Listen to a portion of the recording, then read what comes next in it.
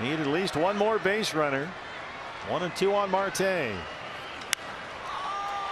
Toward the left field corner. Moore can cover a lot of ground out there, and he has just enough room. Varsho has to stay put.